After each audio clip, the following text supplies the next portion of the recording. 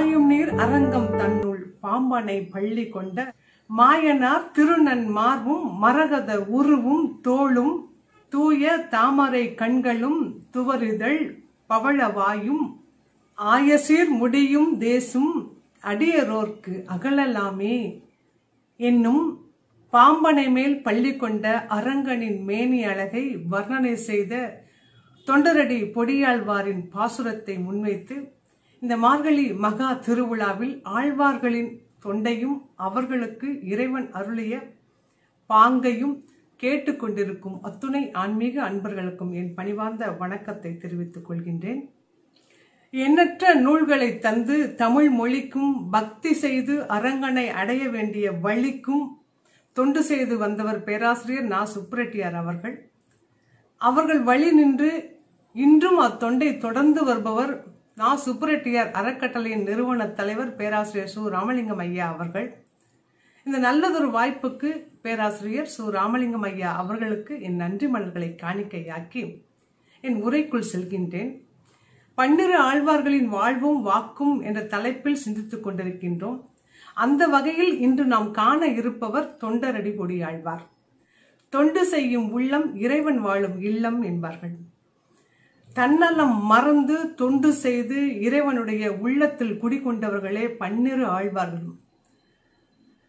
அவர்களுள் தொண்டர்களுக்கு தொண்டு செய்து அவர்களது அடிப்பொடியை தனது திருமுடியில் சூடிக்கொண்டதனால் தொண்டர் அடிப்பொடி என்றே அழைக்கப்பட்டவர் விப்ரநாராயணர் என்னும் தொண்டர் அடிப்பொடி ஆழ்வார்.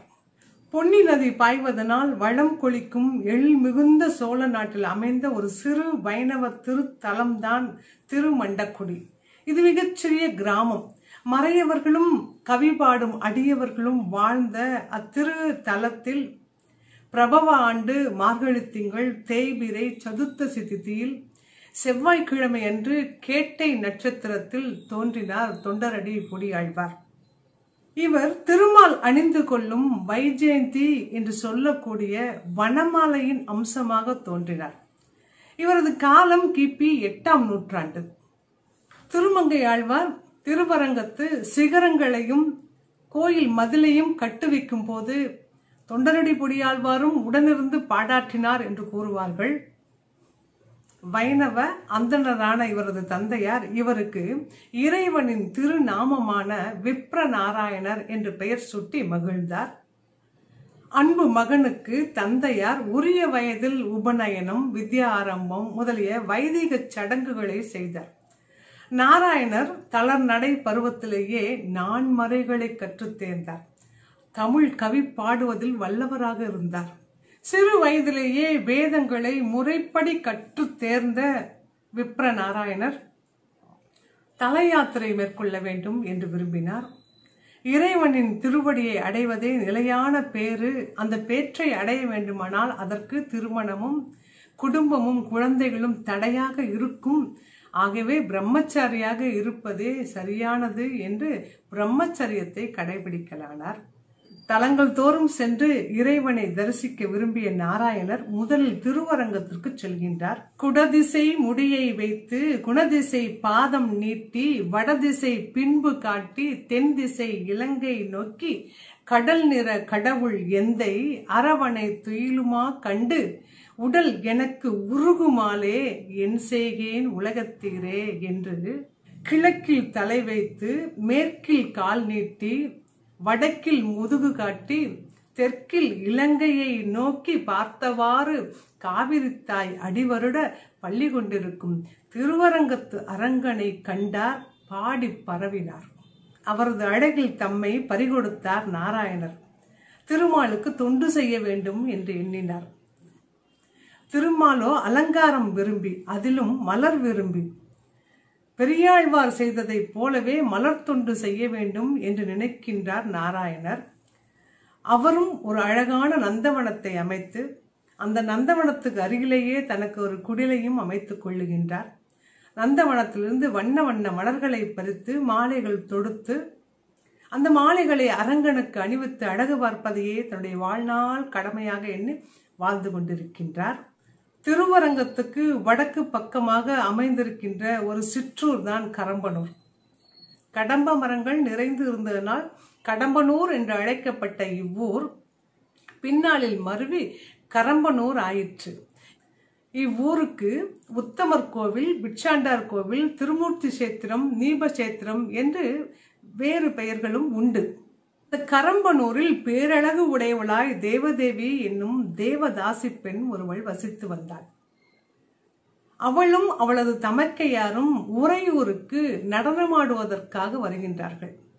சோழனுடைய அவையில் நடனமாடி பரிசு பொருள்களை எல்லாம் பெற்றுக்கொண்டு திரும்பி செல்லும் போது நாராயணருடைய நந்தவனத்தை காண்கின்றார்கள். அழகழகான மலர்களும் மிக அற்புதமான மனமும் அங்கு வர அந்த நந்தவனத்திற்குள் சற்று நேரம் இளைப்பாறி விட்டு செல்லலாம் என்று இருவரும் உள்ளே நுழைகின்றார்கள். அந்த நந்தவனத்தின் அழகை கண்டு அதிசயத்த தேவதேவி இவ்வளவு அழகான நந்தவனத்தை வைத்து வளர்க்கின்றாரே அவர் எப்படி இருப்பார் என்று தெரிந்து கொள்ள வேண்டும் என்று நினைக்கின்றாள். தன்னுடைய தமக்கையிடம் சொல்லுகின்றாள் அவரை நாம் காண வேண்டும் என்று. தமக்கை தங்கையை நோக்கி விப்ரநாராயணர் இறை தொண்டிற்காகவே தம்மை அர்ப்பணித்துக் கொண்டவர். அற்ப விடயங்களிலெல்லாம் அவர் மனம் ஒருபோதும் செல்லாது. அவர் பெண்களை எல்லாம் பார்க்க மாட்டார். அவர் ஒரு பிரம்மச்சாரி என்று கூறுகின்றாள். தேவதேவி அதனை ஏற்றுக்கொள்ளவில்லை. இறைவனுக்கு தொண்டு செய்யும் விப்ர நாராயணரை எனக்கு தொண்டு செய்ய வைப்பேன். அது முடியாவிட்டால் உனக்கு நான் ஆறு மாதம் அடிமையாவேன் என்று தமக்கையிடம் சபதம் செய்கிறாள் தேவதேவி. ஆண்டவனுக்கு தன்னை அடிமை செய்த ஒரு அடியவரை தனக்கு அடிமையாக்குவேன் என்று சபதம் செய்த தேவதேவி மெலிதானதொரு காவி சேலையை அடிந்து கொள்ளுகின்றாள். விப்ரநாராயணரை பார்த்து அவரது பாதங்களில் விழுந்து வணங்குகின்றாள். அவர் யார் என்று கேட்கின்றார். அடியேன் தீவினையால் தாசி குலத்தில் பிறந்தேன். நல்வினையால் உங்களை சந்திக்க வந்திருக்கிறேன். உங்கள் பாதங்களை சரணடைந்து இறை தொண்டு செய்து உய்ய வேண்டும் எனக்கு அருள் புரிய வேண்டும் என்று கேட்கின்றாள். நாராயணரும் அவளது கபட நாடகத்தை உணராமல் அரங்கனின் கட்டளை அதுவாயின் நடக்கட்டும் சரி என்று கூறுகின்றார். அவள் செடிகளுக்கு நீர் பாய்ச்சுவாள் மலர் கொய்வாள் மாலை கட்டுவாள் என்று எல்லா வேலைகளையும் செய்து கொடுக்கின்றாள். பல நாட்கள் இப்படியே செல்லுகின்றன. ஒரு நாள் பெரும் மழை பொழிந்து கொண்டிருக்கிறது. ஈர ஆடையோடு வருகின்ற தேவதேவியை பார்க்கின்றார் நாராயணர். அவளை உள்ளே அழைத்து தம்முடைய ஆடைகளை கொடுத்து அணிந்து கொள்ள சொல்லுகின்றார். இதுதான் தருணம் என்று காத்து கொண்டிருந்த தேவதேவி அவரை தன்வயப்படுத்துகிறாள். அன்று முதல் தேவாதி தேவனுக்கு அடிமையாக இருந்த நாராயணர் தேவதேவிக்கு அடிமையானார். பல மாதங்கள் செல்ல ஒரு நாள் தேவதேவி தன்னுடைய தாயையும் தமக்கையும் பார்த்துவிட்டு வருகிறேன். என்று சொல்லி தன்னுடைய ஊருக்கு கிளம்புகிறாள். ஒரு நாள் கூட அவளை பிரிந்து இருக்க முடியாத நாராயணர் பிரியா விடை கொடுத்து அனுப்பி சில மணி நேரங்களிலேயே தானும் கிளம்பி அவளுடைய வீட்டுக்கு செல்லுகின்றார். பொருளற்றவரை விரும்புமா அவ்வுலகம்? அவளது தாய் அவரை வீட்டை விட்டே அனுப்பி விடுகிறாள். வருந்திய உள்ளத்தோடு வீட்டு வாயிலில் அமர்கின்றார் நாராயணர். அப்போது அழகிய மணவாள தாசனாக வந்த இறைவன் திருக்கோயில் பாத்திரங்களில் பொன்னால் செய்யப்பட்ட அழகான பாத்திரம் ஒன்றை எடுத்துச் சென்று தேவதேவியிடம் கொடுத்து இதை விப்ர நாராயணர் கொடுத்து அனுப்பினார் நான் அவனது ஏவலன் என்று சொல்லி கொடுக்கின்றார். அதை பெற்றுக்கொண்ட தேவதேவி விப்ரநாராயணரை வீட்டுக்குள்ளே அழைக்கின்றாள். பொழுதும் விடிந்தது. நாராயணருக்கு மன்னரிடமிருந்து கைது செய்தியும் வந்தது. பொன் வட்டிலை காணாத கோயில் காப்போர் அதனை அரசனுக்கு அறிவிக்க அரசனும் அர்ச்சகர் பரிசாரகர் பணியாளர்கள் என்று அனைவரையும் சோதித்துவிட்டு இறுதியில் அவருக்கு தேவதேவியின் வீட்டில் இந்த பொற்வட்டில் இருப்பது தெரிய வருகிறது. தேவதேவியின் வீட்டிற்கு காவலர்கள் வருகிறார்கள். விசாரணை நடக்கிறது. தேவதேவி எனக்கு எதுவும் தெரியாது. நாராயணர் கொடுத்ததாக ஒருவர் கொண்டு வந்து கொடுத்தார் என்று கூறுகின்றாள். நாராயணரோ எனக்கு பணியால் ஏவலன் யாரும் இல்லை. நான் அப்படி யாரிடமும் எதையும் அனுப்பவில்லை என்று கூறுகின்றார். விசாரணின் இறுதியில் தேவதேவிக்கு அபராதம் விதிக்கப்படுகிறது. பொன் வட்டில் ஆலயத்தை சேருகிறது. ஆனால் விப்ரநாராயணருக்கோ சிறைவாசம் கிடைக்கிறது. சிறையில் தள்ளப்பட்டார் விப்ரநாராயணர். அன்றிரவு மன்னனின் கனவில் தோன்றிய இறைவன் நாராயணன் எந்த தவறும் செய்யவில்லை. அவரை என்வசப்படுத்துவதற்காக நான் ஆடிய திருவிளையாடல் தான் இது என்று கூற மறுநாள் நாராயணர் விடுவிக்கப்படுகின்றார். மன்னனது உபசரணையோடு விடுவிக்கப்படுகின்றார். ஆனால் நாராயணருக்கோ இறைவனை அருகில் சென்று தரிசிக்க மனம் இல்லை மனத்திலோர் தூய்மை இல்லை. வாயிலோர் இன்சொல் இல்லை. சினத்தினால் செற்றம் நோக்கி தீவிழி விழிவன் வாழா புனத்துளாய் மாலையோனே பொன்னி சூழ் திருவரங்கா எனக்கினி கதியன் சொல்லாய். என்னை ஆளுடைய கோவே ஊரிலேன் காணி இல்லை உறவு மற்றொருவர் இல்லை. பாரில் நின் பாத மூலம் பற்றினேன் பரமமூர்த்தி. காரொளி வண்ணனே என் கண்ணனே கதறுகின்றேன். ஆருளர் கலை கணம்மா அரங்கமா நகருளானே என்று கதறி கதறி அழுதபடி நாற்பத்தி ஐந்து பாசுரங்களை கொண்ட திருமாலை என்னும் ஒரு பாமாலையை இறைவனுக்கு சூட்டுகின்றார். மலர் தொண்டினை மறந்து பொருள் பெண்டிரின் பொய்மை மயக்கத்தில் ஆழ்ந்து இருந்ததற்கு வருந்தி பெரியோர்களை சார்ந்து பிராய்ச்சித்தம் இதற்கு என்ன செய்ய வேண்டும் என்று விசாரிக்கின்றார். இறை அடியார்களின் திருவடி தீர்த்தத்தை உட்கொள்ளுவதே ஆகச் சிறந்த பரிகாரம் என்று கூறுகின்றார்கள். நாராயணரும் அங்கனமே அதனை பெற்று பருகி தூய்மையானார். வைணவர்களுடைய திருவடி தூளியாய் அவர்களுக்கு கீழ்ப்படிந்து அடிமை பூண்டு ஒழுகியதனால் அவர் தொண்டர் அடி பொடியாழ்வார் என்று போற்றப்பட்டார். தான் செய்த தவறை உணர்ந்த தொண்டர் அடி பொடியாழ்வார் மீண்டும் மலர் தொண்டை செய்யத் தொடங்குகின்றார். மிக்க ஈடுபாடோடு செய்கின்றார். பூலோக வைகுந்தம் என்று சொல்லக்கூடிய திருவரங்கத்தில் பல்லாண்டு காலம் வாழ்ந்து இறையடியை அடைந்தார். இவரைப் போலவே தேவதேவியும் அந்த ஆலயத்துக்கு அலகிடுதல் மெழுகிடுதல் கோலமிடுதல் முதலான குற்றேவல்களை செய்து கொண்டு வாழ்ந்து பிறகு இறையடையை அடைந்தார். பன்னிரு ஆழ்வார்களில் அரங்கனுக்கு திருப்பள்ளி எழுச்சி பாடியவர் தொண்டரடி கொடி ஆழ்வார். குணதிசை கதிரவன் சிகரம் வந்து அணைந்தான். கனையிருள் அகன்றது காலையும் பொழுதாய்.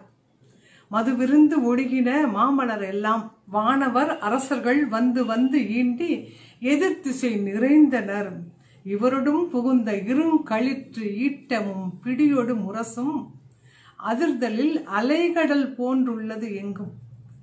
யானையும் முரசமும் அதிர்வதனால் இங்கு பார்ப்பதற்கு அலைகடல் போல காணப்படுகிறது. அரங்கத்து அம்மா பள்ளி எழுந்தருளாயே என்று அரங்கனுக்கு திருப்பள்ளி எழுச்சி பாடியவர் தொண்டரடி பொடியாழ்வார். திருவரங்கத்து பெருமானே கதிரவன் கிழக்கு திசையில் உதிக்கத் தொடங்கிவிட்டான். கனை இருள் அகன்று காலை பொழுது விடிய தொடங்கிவிட்டது. மலர்களெல்லாம் விருந்து மது ஒழுகத் தொடங்கிவிட்டன. வானவர்களும் அரசர்களும் வந்து குழுமி விட்டார்கள். யானையோடு முரசமும் முழங்க ஆரம்பித்து விட்டன. முல்லை மலர்களெல்லாம் கூம்ப ஆரம்பித்து விட்டன. மலர்களின் மீது பள்ளி கொண்ட அன்னங்கள் எழுந்து நடக்க ஆரம்பித்து விட்டன. பறவைகள் ஒழிக்கின்றன வண்டுகள் இசைக்கின்றன என்று காலை பொழுதின் அற்புதங்களை எல்லாம் வரிசையாக அடுக்கி அரங்கனுக்கு திருப்பள்ளி எழுச்சி பாடியவர் தொண்டரடி பொடியாழ்வார். கொழுங்கொடி முல்லையின் கொழுமலர் அணவி கூர்ந்தது குணதிசை மார்தம் இதுவோ எழுந்தன மலரணை பள்ளிக்குள் அன்னம். புலம்பின புட்களும் பூம்பொழில்களின் வாய் போயிற்று கங்குள் புகுந்தது புலரி கலந்தது குணதிசை கனைகடல் அரவம். களிவண்டு மிளிற்றிய களம்பகம் புனைந்த அலங்காலன் தொடையன் கொண்டு அடியினை பணிவாள் அமரர்கள் புகுந்தனர். ஆதலின் அம்மா இலங்கையர்கோன் வழிபாடு செய் கோயில் எம்பெருமான் பள்ளி எழுந்தருளாயே. இலங்கையர்கோன் வழிபாடு செய்யும் கோயில் எம்பெருமான் பள்ளி எழுந்தருளாயே என்று கூறுவதில் இலங்கை அரசன் வந்து திருவரங்கத்து அரங்கனை வழிபாடு செய்தான் என்ற வரலாற்று செய்தியை நாம் தொண்டரடி பொடியாழ்வாருடைய பாசுரங்களிலிருந்து அறிய முடிகிறது. சிமா மலைபோல் மேனி பவளவாய் கமலச் செங்கன் அச்சுதா அமரர் ஏரே ஆயத்தம் கொழுந்தே என்னும் இச்சுவை தவிர யான் போய் இந்திர லோகமாலும் அச்சுவை பெரினும் வேண்டேன் அரங்கமா நகருளானே என்று தொண்டரடி பொடியாழ்வார் சொல்லும் போது எது மிகுந்த சுவை உடையது? எந்த சுவை நமக்கு திருப்தியை தரக்கூடியது? என்று புரிந்து கொள்ள முடிகிறது. பச்சை மலை போன்ற அந்த மேனியையும் பவளம் போன்ற இதழ்களையும் தாமரை மலர்களைப் போன்ற கண்களையும் உடைய ஆயர்குல விளக்காகிய தேவர்களுக்கெல்லாம் தலைவனாகிய திருமாலை வணங்குவதைத் தவிர வேறு எந்த சுவையும் இனிய சுவையாக இருந்துவிட முடியாது என்று தொண்டரடிப்படியாழ்வார் கூறுகின்றார். திருவரங்கம் அயோத்தி திருப்பார்கடல் முதலிய மூன்று தலங்களுக்கு மங்களாசாசனம் செய்துள்ளார். தான் செய்த தவறை எண்ணி தொண்டரடி பொடியாழ்வார் அவரே வெட்கப்பட்டு சிரிக்கக்கூடிய ஒரு பாடல் மிக அற்புதமாக உள்ளத்தே உறையும் மாலை உள்ளுவான் உணர்வு ஒன்றில்லா கள்ளத்தேன். உள்ளத்தே உறையும் மாலை உள்ளுவான் உணர்வு ஒன்றில்லா கள்ளத்தேன். நானும் தொண்டாய் தொண்டுக்கே கோலம் பூண்டு உள்ளுவார் உள்ளிற்று எல்லாம் உடன் இருந்து அருதி என்று வெல்கி வெட்கி வெல்கி போய் என்னுள்ளே நான் விழவர சிரித்திட்டேனேங்கிறார். விழா புடைக்க சிரிப்பது என்பது நாம் கேட்டிருக்கிறோம். விழா எலும்பு முறிய சிரிப்பது என்பது புதிய தொடர். தொண்டு செய்கிறேன் என்று பொய்க்கோளம் பூண்டேன். நினைப்பவர் நினைப்பவையெல்லாம் உடனிருந்து நீ அறிவாய் என்று வெட்கப்பட்டு ஐயோ உனக்கு எல்லாம் தெரிந்து விட்டதே என்று வெட்கப்பட்டு நான் விழா அரும்படி சிரித்திட்டேனேன்னு சொல்றாரு. உன் முன்னால் வந்து நிற்கின்ற தொண்டரடி பொடி என்று சொல்லக்கூடிய என்னை உன் அடியாருக்கு ஆட்படுத்து என்று தொண்டரடி பொடியாழ்வார் அரங்கத்தானை வேண்டிய நூல் புனல் அரங்கா? தொடையொத்த துளவமும் கூடையும் பொழிந்து தோன்றிய தோல் தொண்டரடி பொடி என்னும் அடியனை அழியன் என்று அருளி உன் அடியார்க்கு ஆட்படுத்தாய் பள்ளி எழுந்தருளாயே என்று பாடிய தொண்டரடி பொடியாழ்வாரை சிந்திப்பதற்கான இந்த நல்லதொரு வாய்ப்பினை வழங்கிய நாசுப்புரட்டியார் அறக்கட்டளையின் நிறுவன தலைவர் பேராசிரியர் சு. ராமலிங்கம் ஐயா அவர்களுக்கு நன்றியை பாராட்டி எல்லாரும் கேட்டுக்கொண்டிருந்த அத்துணை அன்பு உள்ளங்களுக்கும் இந்நன்றியை பாராட்டி விடைபெறுகிறேன். நன்றி வணக்கம்.